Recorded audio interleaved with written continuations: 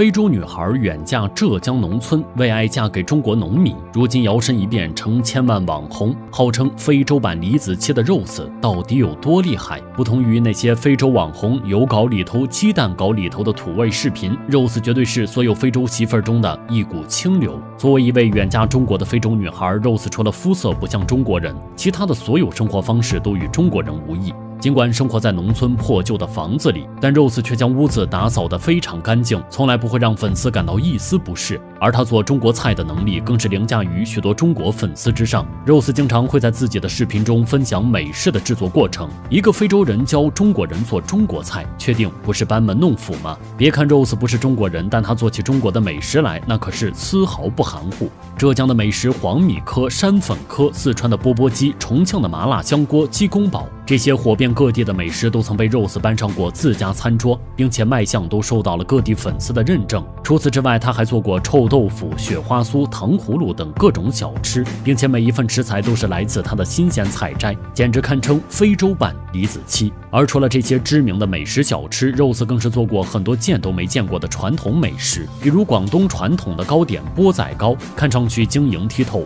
软软糯糯，宛如果冻一般。要不是被 Rose 成功复刻，很多网友。根本不知道中国还有这样的美味。而当他准备买猪油做猪油糖时，就连卖肉的老板都感叹：“真是没有你不会的。”看闺蜜英子与自己一样远嫁，Rose 便细心的特意为她制作贵州有名的灰豆腐火锅。当雪白的豆腐裹上炉灰下锅时，Rose 又成功让不少中国粉丝长了见识。在 Rose 的带动下，不少粉丝纷纷加入了跟她学做菜的行列，跟着一个洋媳妇儿学做中国菜，以前从来不敢想象。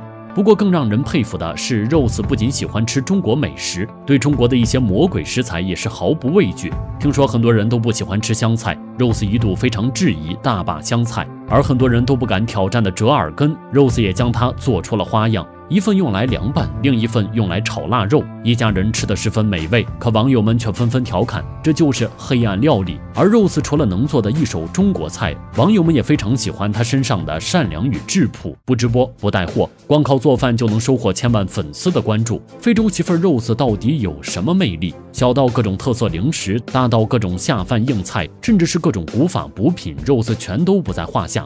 家长里短，人情往来，各地风俗节日，Rose 也都十分。了解嫁到中国八年来，Rose 不仅学会了一口流利的中文，还做得一手中国美食，与农村的左邻右舍相处得十分和睦，成功被贴上了中国化的标签，可谓是上得厅堂，下得厨房。但粉丝们除了敬佩 Rose 出众的厨艺，更喜欢她视频中最真实的淳朴与温暖。因为儿子想吃臭豆腐，Rose 就特地提前一个月准备卤水，即便臭到想吐，也会憋着气为儿子准备这份独特的美食。体谅到闺蜜与自己一样远嫁蒋家，她便经常为她做来自家乡的贵州美食。而作为一位中国媳妇儿，Rose 也将中国独有的人情世故。发挥的淋漓尽致。闺蜜给了她一块猪肉，她便回家做好瘦肉丸，拉着几个好姐妹一起吃。过年去闺蜜家拜年时，也一定不会忘记带礼物。每次肉丝做了硬菜，都会拉着村里人一起品尝。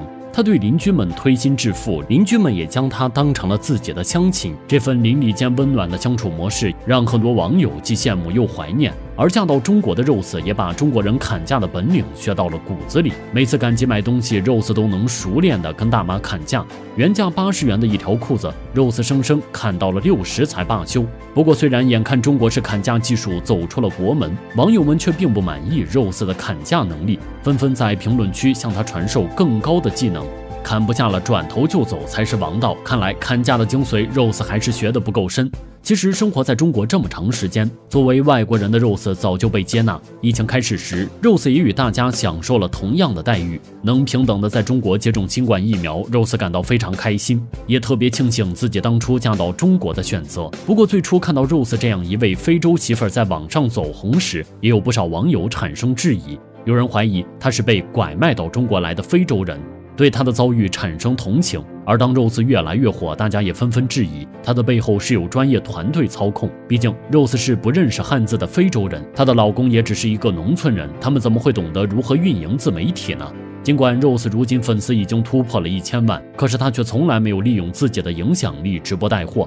从他的视频当中，大家看到的更多的是一家人传递的幸福与浓浓的爱意。而出身农村的他，想要靠短视频谋生，也可以理解。而随着肉丝吸粉的能力越来越强，网友们对他的身份也更加好奇。从非洲乌干达嫁到浙江农村八年，为了爱情不惜跨越国际，非洲媳妇肉丝与他背后的中国男人，让千万粉丝好奇不已。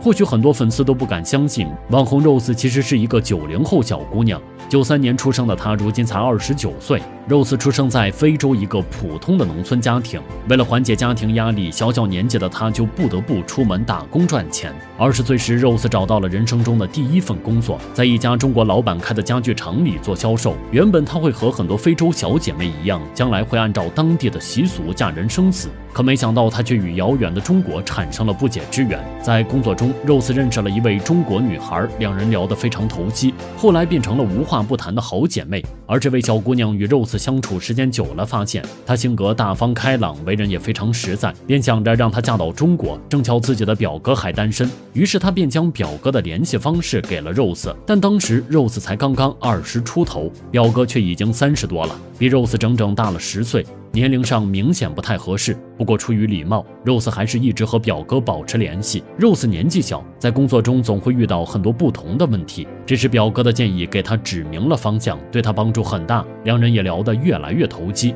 随着联系的时间越来越长，Rose 也发现他对这位中国男人产生了不同寻常的感情。即便两人的聊天常常需要翻译软件加持，但语言的阻碍斩不断两人的感情。后来，Rose 鼓起勇气向表哥发送了自己的第一张自拍照，对方也向他发出邀请，让他来中国看看。